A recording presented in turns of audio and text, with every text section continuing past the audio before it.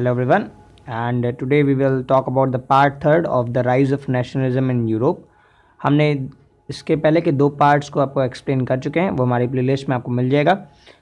चलिए next third part में देखते हैं और देखते हैं इसमें क्या क्या चीज़ें हम पढ़ेंगे। ये जो स्टोरी रहेगी ये नेपोलियन बोनापार्ट के बाद से जो आपका चैप्टर है उसके बारे में हम कवर करेंगे और ज़्यादा से ज़्यादा चीज़ें कवर करेंगे और देखते हैं चलिए और जानते हैं क्या है rise of nationalism in Europe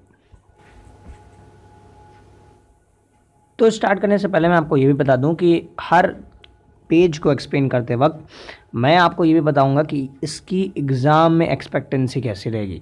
मतलब एग्ज़ाम में इससे रिलेटेड क्या क्वेश्चन आएँगे कि नहीं आएँगे, मैं ये भी आपको बताऊँगा तो उससे भी आपको बहुत ज़्यादा क्लियर हो जाएगा कि आपको क्या चीज़ें पढ़नी है और क्या चीज़ें सिर्फ़ समझनी है और इंटरेस्ट के साथ पढ़नी है। तो चलिए शुरू करते हैं। तो आज का जो जर्मनी, इटली, स्विट्जरलैंड जो हम लोग देखते हैं, अगर हम मिड एटीन सेंचुरी की बात की जाए तो जर्मनी, इटली और स्विट्जरलैंड नामचन स्टेट्स नहीं थे। वो ऐसी जगह थे जहाँ पर डिफरेंट डिफरेंट किंग्स और डचीज और कैंटून्स ने अपना बसेरा बनाकर रखा था। मतलब ऐसे इलाके जहाँ पर कई कई प्रकार के राजा अपनी जगह को रखते थे, उनके किंगडम्स थे और डिफरेंट डिफरेंट पार्ट्स में बटा हुआ था। और यही नहीं, जो आपका पूरा ईस्टर्न और सेंट्रल यूरोप था, ये बहुत सारे ऑटोक्रेटिक मोनार्चीज में बटा हुआ था। एक अंपायर की बात करते हैं द हब्सबर्ग अंपायर जो उस समय पूरे सेंटर और ईस्टर्न यूरोप में अपने धाक जमाया हुआ था, ये खुद patchwork of different regions and people का था। देखिए, ये बहुत ही इंपॉर्टेंट लाइन है। The Habsburg empire was the patchwork of different regions and people. और क्यों है ऐसा, ये भी मैं आपको बताऊँगा। तो देखिए हैप्सबर्ग अंपायर को मानते थे कि ऐसी जगह जहाँ पर कई प्रकार के लोग, विभिन्न प्रकार के बात, बो, बोली बोलने वाले लोग मतलब कि उनकी लैंग्वेजेस बहुत डिफरेंट थी। और यही नहीं, जो जियोग्राफिकल एरिया था पूरा हब्सबर्ग अंपायर वो भी बहुत ही ज़्यादा डिफरेंट था। अब क्यों ऐसा है? चलिए इसको भी देख लेते हैं। तो देखिए, क्या था कि इसमें कुछ अल्पाइन रीजन थे। अल्पाइन रीजन से मतलब है कि एकदम माउंटेनियस रीजन जैसे टायरोल हो गया ऑस्ट्रिया हो गया सेडेंटल लैंड हो गया, ये सब बहुत ही ज़्यादा रीजन थे। इसके अलावा एक बोहेमिया भी था, जहाँ पर जर्मन स्पीकिंग लोग रहते थे। वहीं अगर बात की जाए तो इटली के भी कुछ प्रोविंसेस में आते थे, जैसे लेम्बॉर्डी हो गया वेनेटिया हो गया। और इसके अलावा हंगरी जो हब्सबर्ग अंपायर जो था, देखिए हब्सबर्ग अंपायर पूरा ऑस्ट्रिया और हंगरी जो है ऑस्ट्रिया और हंगरी जो करंट में है, उसको पूरा, उसका सेंटर जो था हब्सबर्ग अंपायर का, वो ऑस्ट्रिया और हंगरी था। तो हंगरी की बात की जाए तो हंगरी के अंदर करीब half of the population Magyar बोलती थी। और इसके अलावा जो और भी जो लोग जो अरेस्टोकेसी जो थी वहाँ की, जो आसपास की एरिस्टोकेसी जैसे एरिस्टोकेसी लोग होते थे जो बहुत ही ज़्यादा जिनके पास पैसा हो या थोड़ी ऊपर बिरादरी के लोग हो तो वो लोग वहाँ पर पोलिश बोलते थे। तो ये बस कुछ एग्जाम्पल्स दिए गए हैं कि क्यों हब्सबर्ग अंपायर को different patchwork of regions and people माना जाता था। इसमें जर्मन पीपल लोग रहते थे इटली के हो गए मग्यार बोलने वाले हो गए। इस तरह के लोग वहाँ पर रहते थे। तो इन सब के अलावा अगर देखा जाए तो कुछ और भी ग्रुप्स थे, जो पीजेंट पीपल जो लोग थे, जो जैसे फार्मर्स टाइप के हो गए, और वो लोग जो पैसा देते थे एम्परस को। उसमें कई प्रकार के लोग थे, जैसे बोहेमियंस हो गए स्लोक्स हो गए और क्रोट्स हो गए रूमन्स हो गए, ये सब लोग भी वहाँ पर रहते थे। तो अब ये क्वेश्चन आता है कि ये सब एक हब्सबर्ग अंपायर के अंदर कैसे रह लेते थे? इनमें लड़ाइयाँ क्यों नहीं होती थी? देखिए, यही आगे चल के एक बड़ी लड़ाई का सबब भी बनेगा, लेकिन अभी हम ये जान लेते हैं कि ये जो अपने एम्पर के प्रति जो उनका डर था, या कह सकते हैं कि उनकी जो एलिजेंस थी, कि एम्पर की वो बात मानेंगे इसीलिए वो एक दूसरे से कनेक्टेड रहते थे, बल्कि उनके बीच में कोई सेंस ऑफ़ पॉलिटिकल यूनिटी नहीं थी। ये बात आपको ध्यान रखनी है कि बस वो यूनिटी में नहीं रहते थे बट क्योंकि एम्पर था उनका एक, इसीलिए वो एक साथ रहने में वो लोग बाध्य थे और एक दूसरे के साथ रहते थे। अब आते हैं एरिस्टोक्रेसी के बारे में। तो एरोस्ट्रोकेसी क्या था? देखिए एरोस्ट्रोकेसी एक सोशली और पॉलिटिकली बहुत ही ज़्यादा डोमिनेटेड क्लास थी। और पूरे यूरोप की बात की जाए, देखिए, मैं सिर्फ़ जर्मनी, मैं सिर्फ़ हब्सबर अंपायर मैं सिर्फ़ स्पेन मैं सिर्फ़ इंग्लैंड की बात नहीं कर रहा हूँ, बल्कि पूरे यूरोप की बात कर रहा हूँ। अगर पूरे यूरोप की बात की जाए तो जो एरिस्टोक्रेसी थी, जो लैंडेड एरिस्टोक्रेसी थी मतलब वो लोग जो एक जगह पे सेटल हो चुके हों तो लैंडेड एरिस्टोक्रेसी जो थी, वो सबसे ज़्यादा सोशली और पॉलिटिकली डोमिनेटेड क्लास थी। अगर देखा जाए तो इन लोगों में एक बहुत ही खास चीज़ें थी और ये पूरे यूरोप में इनमें बहुत चीज़ें कॉमन भी थी, पूरे यूरोप में। क्या चीज़? क्योंकि इनकी एक कॉमन वे ऑफ़ लिविंग थी। मतलब कि एक बहुत ही रहायशी घराने से लोग ताल्लुक़ रखते थे और बहुत ही अमीरों की तरह ही रहते थे तो इनकी कॉमन वे ऑफ़ लिविंग थी। ये जो लोग थे, इनके पास कंट्री साइड में मतलब कि अगर गाँव, देहात की बात की जाए तो वहाँ पर इनके पास बड़े बड़े इस्टेट्स थे। मतलब एक इस्टेट कह सकते हैं, एक बहुत बड़ा एक फार्म हाउस कह सकते हैं, बहुत बड़ा फार्म हाउस, जिसमें बहुत सारे सर्फ्स काम कर रहे हो, सर्फ मतलब कि नौकर लोग काम कर रहे हो। तो उनके पास बहुत सारे स्टेट्स थे और अगर सिटीज़ की बात की जाए, जैसे बड़े बड़े पेरिस हो गया, जितने बड़े बड़े सिटीज़ थे, वहाँ पर इनके पास टाउन हाउसेस थे। इसके अलावा ये डिप्लोमेसी और हाई सोसाइटी में फ्रेंच बोलते थे।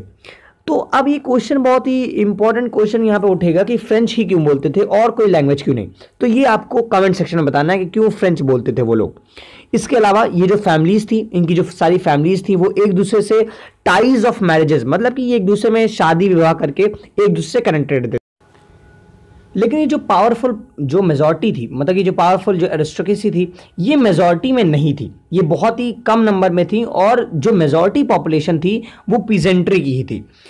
तो अब यहाँ पर एक चीज़ और दी गई है कि to the west the bulk of the land was farm by the tenants and small owners while in eastern and centre Europe the pattern of land holding was characterise by vast estate which was cultivated by serfs तो यहाँ बोला गया कि west side में, अगर जो western Europe की बात की जाए तो वहाँ पर बल्क अमाउंट पे लैंड का कल्टीवेशन होता था।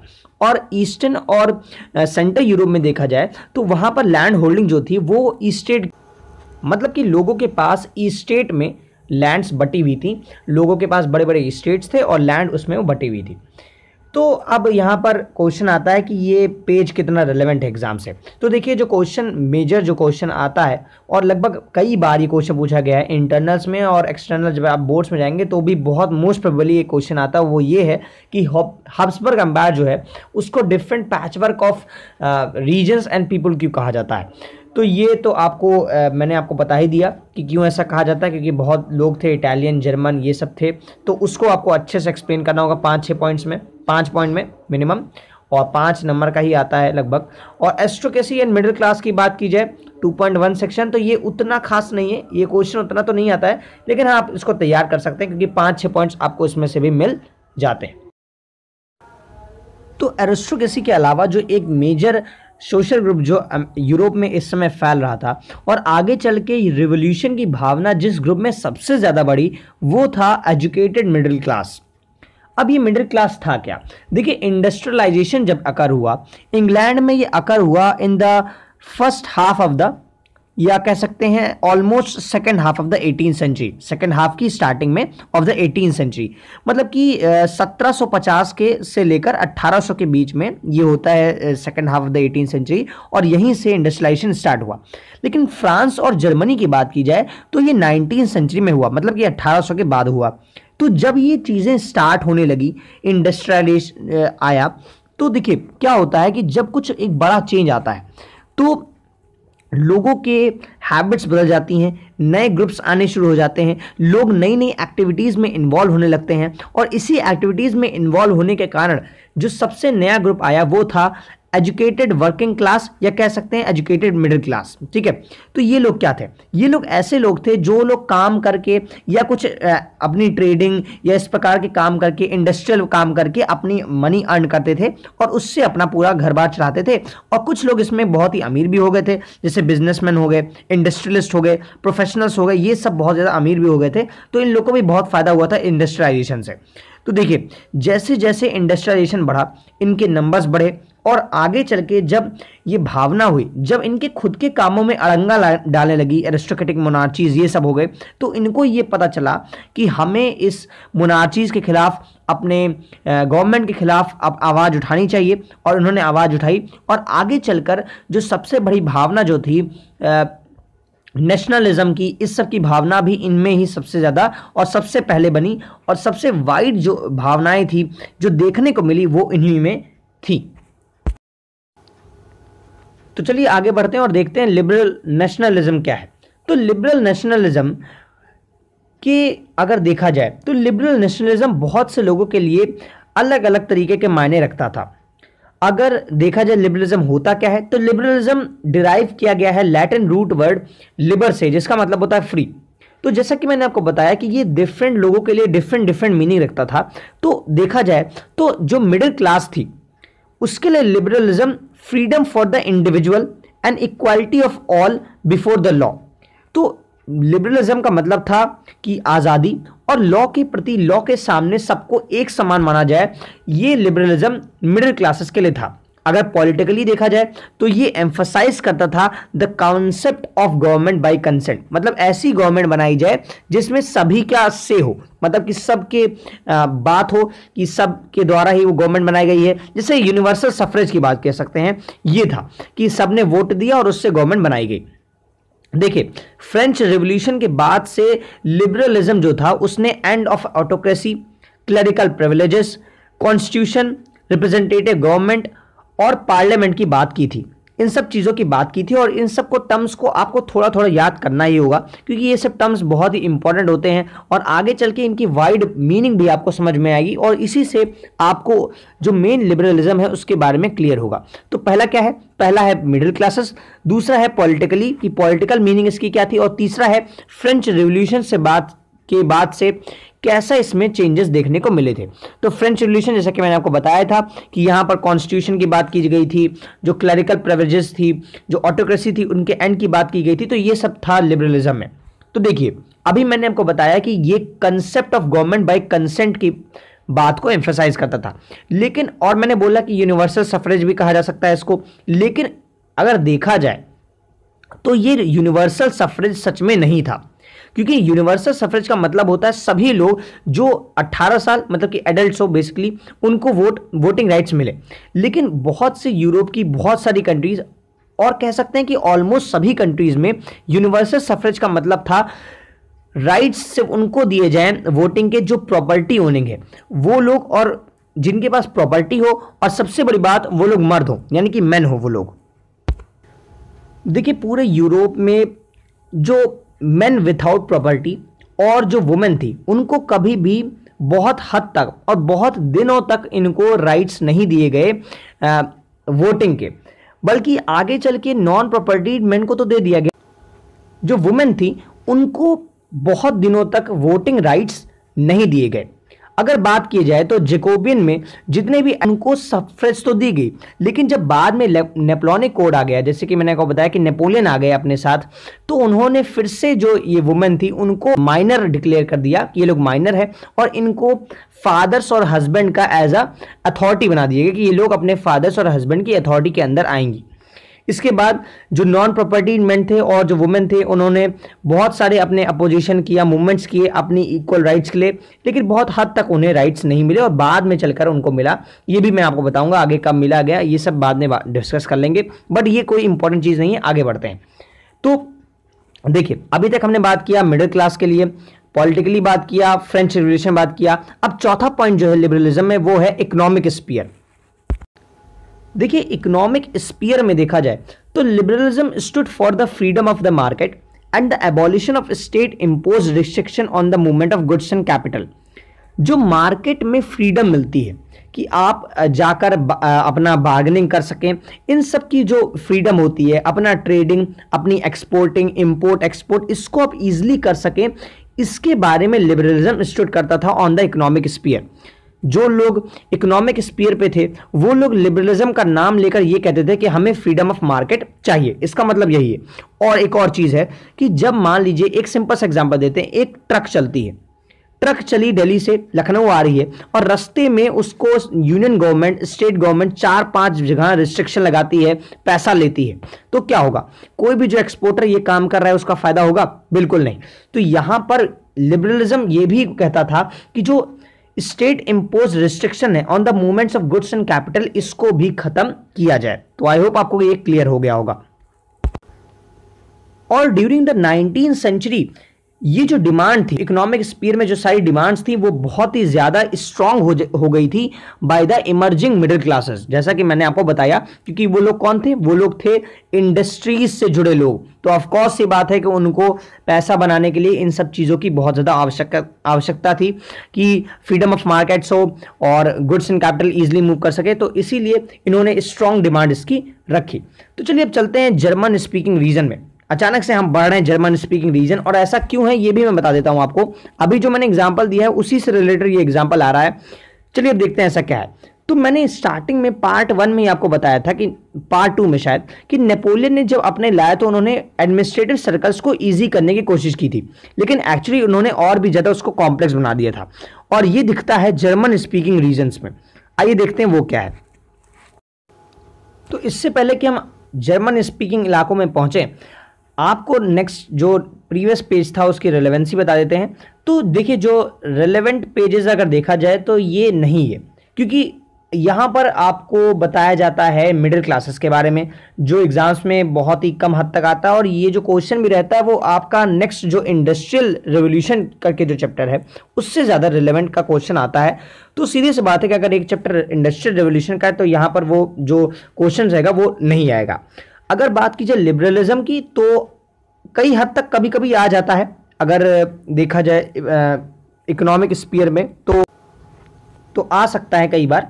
तो अगर टेन की रेटिंग दी जाए तो I will give liberalism to six point six और अगर ऊपर एस्ट्रोकेसी वाली बात की जाए, ऊपर वाला जो आपका जो मिडिल क्लासेस था तो वो मैं आपको सिर्फ़ दो पॉइंट ही दूँगा, क्योंकि वो बिल्कुल भी आता नहीं है। तो चलिए आगे बढ़ते हैं।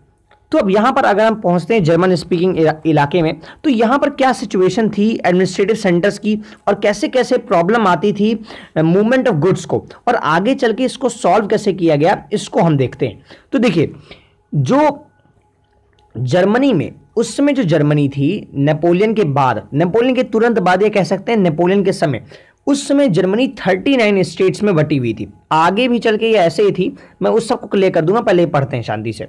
तो 39 स्टेट्स में वो बटी हुई थी। इनको हम कन्फेडरेशन कह सकते हैं कि ये 39 स्टेट्स थी और ये बटी हुई थी। और हर स्टेट के बाद खुद की करेंसी खुद का system of weight and measures था। अब आप सोच सकते हैं कितनी ज़्यादा कॉम्प्लेक्सिटी इससे बढ़ सकती है। यहीं से आप अंदाज़ा लगा लीजिए कि कितनी ज़्यादा कॉम्प्लेक्सिटी बढ़ती है। एक कंट्री 39 स्टेट्स और सबकी अलग चीज़। है तो अभी बोला गया है कि 1833 में अगर आप एक मर्चेंट हैं और आप हैमबर्ग से न्यूरमबर्ग के बीच में बढ़ रहे हैं, अब ये क्या है? हैमबर्ग और न्यूरमबर्ग हमारे कंट्री के उत्तर प्रदेश और उत्तराखंड मान लीजिए, ठीक है? नहीं, अगर ऐसा हो रहा है तो उत्तर प्रदेश केरला मान लीजिए। तो अगर आप उत्तर प्रदेश से केरला के बीच में चल रहे हैं तो आपको कई राज्यों से गुजरना पड़ेगा। तो जब गुजरते समय हर राज्य में, क्योंकि अलग अलग इलाके थे अलग अलग वेट एंड मेजर्स अलग अलग करेंसी थी अलग अलग कस्टम बैरियर्स थे तो मर्चेंट को बहुत ज़्यादा दिक्कत आती थी और यही जर्मनी में भी हो रहा था। हर कस्टम बैरियर में उसको पाँच परसेंट देना पड़ता था अपने एक्सपोर्ट का। पाँच परसेंट सोच सकते हैं आप। कितना ज़्यादा कट जाएगा उसके कॉस्ट कितना उसको कम प्रॉफिट होगा उससे। और यही नहीं, जो वेट एंड मेजर्स का जो अलग अलग तरीका था, उसकी वजह से उसको और भी ज़्यादा प्रॉब्लम आती थी। क्योंकि एक स्टेट में कोई चीज़ अलग ही वेट होता था और दूसरे स्टेट में उसका वेट एकदम अलग होता था। जैसे फॉर एग्ज़ाम्पल कि आइल, एक आइल क्या होता है? देखिए, आइल क्या है कि एक मेजर ऑफ़ क्लोथ है। क्लोथ की लेंथ को आइल कहते हैं। तो एक जगह पर फ्रैंकफर्ट में एक आइल का मतलब है 54.7 सेंटीमीटर वही मेंस में 55.1 और न्यूरमबर्ग में 65.6 फ्राइबर्ग में 53.5 55 सेंटीमीटर ये सब हैं, बहुत लंबे लंबे कैलकुलेशन देखने को मिल रहे हैं। देखिए, इसको याद करना नहीं है, बस ये आपको एक एक्सप्लेनेशन दिया गया है कि कैसे कैसे प्रॉब्लम आती थी और क्या था liberalism on the economic sphere अब इस प्रॉब्लम को सॉल्व करने के लिए, ये जो डिफरेंट डिफरेंट बैरियर्स थे, इसको सॉल्व करने के लिए जो सबसे मेन चीज़, और कह सकते हैं इस पेज का सबसे मेजर क्वेश्चन जो आता है, वो इसी पे आता है, वो है जॉल्वेरियन जॉल्वेरियन क्या था? इसके बारे में आपको बहुत बार क्वेश्चन देखने को मिलता है। और टू uh, 2019 में शायद जी हाँ 2019 में क्वेश्चन आया भी था। तो चलिए इसको जानते हैं ये क्या है। अभी मैंने बात की कि एक मर्चेंट 1833 में उत्तर प्रदेश से केरला बढ़ रहा है। ये मैंने आपको बताया था वैसे बढ़ता तो दूसरे जर्मन स्टेट में लेकिन वो बढ़ रहा है। तो 1833 में ये प्रॉब्लम थी और इसको सॉल्व करने के लिए 1834 में एक कस्टम यूनियन बनाया जाता है जिसका नाम था जोलबेरियन और ये बनाया गया था ऑफ़ प्रशा अब इनिशिएटिव ऑफ़ प्रशा ध्यान रखिएगा initiative of Prussia initiative of Prussia initiative of Prussia ये बहुत ही इंपॉर्टेंट चीज़ है। अगर इस लाइन को आप लिख देंगे तो बहुत ही अच्छा आपको फ़ायदा होगा। इसके अलावा, बाद में इसमें कई जर्मन स्टेट्स को भी जोड़ा गया था। अब क्योंकि जर्मन स्टेट की प्रॉब्लम को सॉल्व करने के लिए था, इसीलिए बाद में जर्मन स्टेट्स भी इसमें जोड़े गए। जिससे उनकी जो प्रॉब्लम थी, वो कम कर दी जाए। अभी मैंने बात की कि पूरे जर्मनी में थर्टी नाइन स्टेट्स थी। और कुल मिलाकर वहाँ पर थर्टी, यानी कि तीस करेंसीज चलती थी। जब यूनियन आया तो इसने सभी टैरिफ बैरियर्स, यानी कि जगह जगह हर स्टेट में जो टैरिफ बैरियर लगे थे, उनको हटा दिया। और इसके अलावा जो तीस करेंसीज थी, उसको घटाया गया और घटाकर दो करेंसीज बना दी गई पूरे जर्मनी में। तो ये जॉलवेरियन द्वारा सबसे इंपॉर्टेंट चीज़ें की गई। बाद में जब रेलवेज आ गया तो इससे क्या हुआ कि मोबिलिटी और बढ़ती चली गई और जितने भी जो प्रॉब्लम आ रही थी टैरिफ बैरियर्स की और जो रेगुलेशंस लगाए जाते थे, वो पूरी तरह से ख़त्म होने गया और आगे चल के जर्मनी यूनिफिकेशन के पाथ पे बढ़ता चला गया और बाद में ऑफकोर्स उसका यूनिफिकेशन हुआ। उसके बारे में भी हम आपको बता देंगे।